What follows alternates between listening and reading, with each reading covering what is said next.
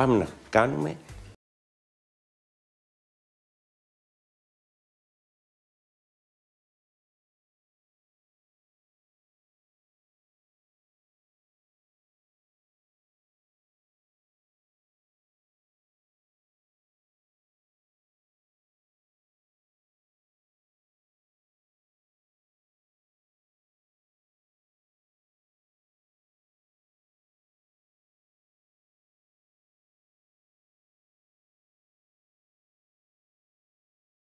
και της εποχής. Μπορείτε βέβαια να το κάνετε και με μήλο. Το φυρίκι θα το χρησιμοποιήσουμε ολόκληρο. Το μήλο θα το καθαρίσετε ανάλογα το μέγεθός του σε 6 ή 8 κομμάτια. Εμείς θα χρειαστούμε περίπου 7-8 φυρίκια, τα οποία είναι μισό κιλό. Και θέλουμε ζάχαρη άλλο μισό κιλό και ένα κιλό, ένα λίτρο νερό. Να προτιμάτε εμφιαλωμένο όταν φτιάχνετε γλυκά του κουταλιού. Λοιπόν, παίρνουμε μια μεγάλη κατσαρόλα. Ρίχνουμε τη ζάχαρη. Και αδειάζουμε το νερό.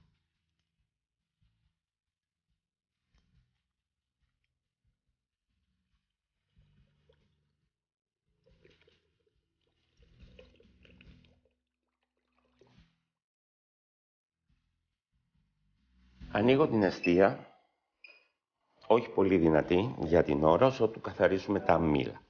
Για να αρωματίσουμε το γλυκό του κουταλιού, προτίμησα σήμερα να βάλουμε βανίλια. Αν δεν έχετε βανίλια ή δεν θέλετε βανίλια, μπορείτε να βάλετε ξυλάκια κανέλας.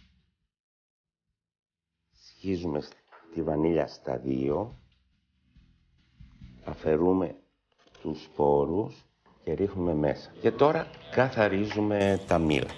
Παίρνουμε το ειδικό εργαλείο που είναι για κολοκύθια, να προτιμήσουμε μικρό, γιατί τα φυρίκια είναι μικρά. Αφαιρούμε πρώτα τα κουκούτσια. Ωραία, θα καθαρίσουμε γύρω στα 7 με 8 φυρίκια και μετά θα καθαρίσουμε το εξωτερικό.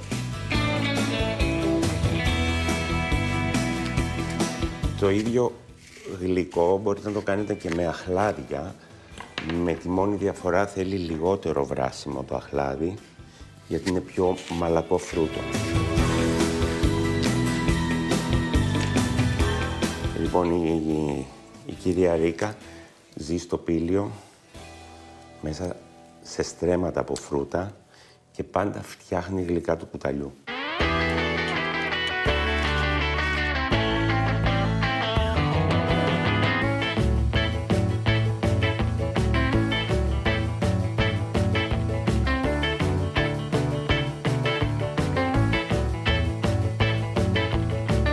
Καθαρίσαμε και το τελευταίο μήλο. Αν η βανίλια σας δεν διαλυθεί μέσα στο σιρόπι, θα την κάνουμε με λίγο μπίμερ για να διασπαστεί.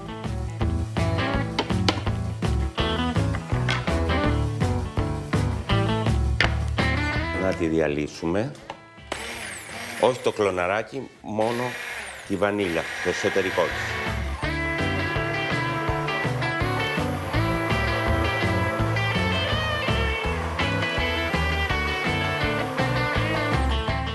Ωραία, επαναφέρουμε. Και ρίχνουμε τα φυρίκια. Τα βράζουμε ως ότου μείνει λίγο σιρόπι και αρχίζουν και γίνονται τα μήλα λίγο διάφορα.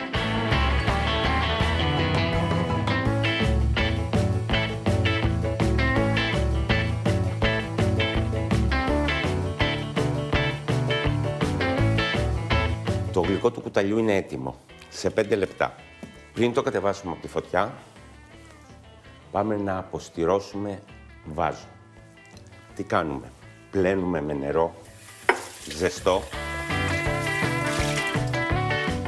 Αν έχουμε πολλά, τα βάζουμε στο φούρνο στους 100 βαθμούς, ανάποδα, σε μία πετσέτα, έως ότου στεγνώσουν και είναι πολύ ζεστά, τότε γεμίζουμε τα βάζα με το ζεστό γλυκό του κουταλιού ή μία μαρμελάδα. Τώρα έχουμε ένα βάζο, μπορούμε να το βάλουμε και στα μικροκύματα.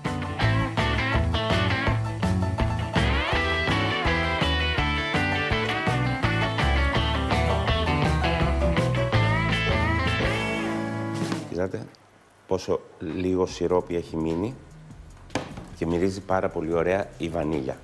Είπαμε, μπορείτε να βάλετε και κανέλα. Έχουμε ψήσει στο φούρνο, καβουρδίσει μάλλον, αμύγδαλα, περίπου 50 γραμμάρια, αποφλειωμένα.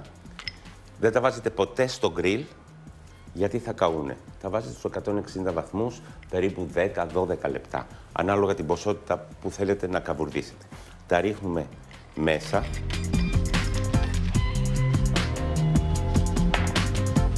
Και παίρνουμε ένα κουταλάκι του γλυκού ή μισό καλύτερα του γλυκού ξινό.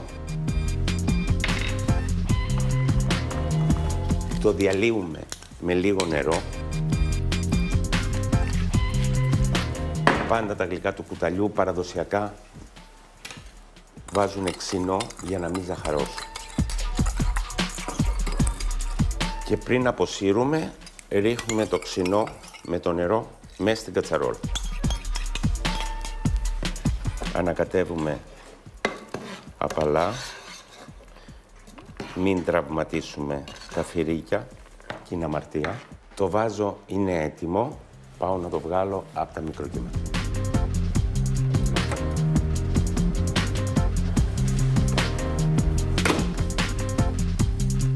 Είναι καυτό.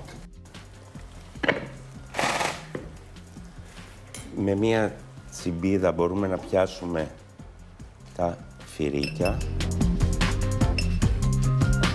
Τα βάζουμε όμορφα μέσα στο βάζο.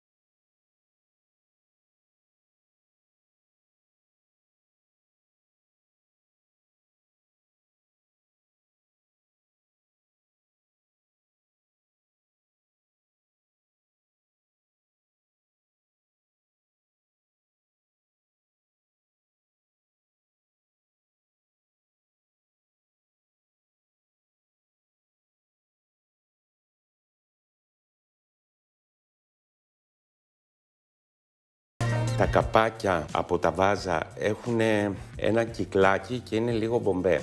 Αυτό μας δείχνει αν έχουν κονσερβοποιηθεί πολύ σωστά τα βάζα. Τα κλείνουμε πολύ καλά ζεστά.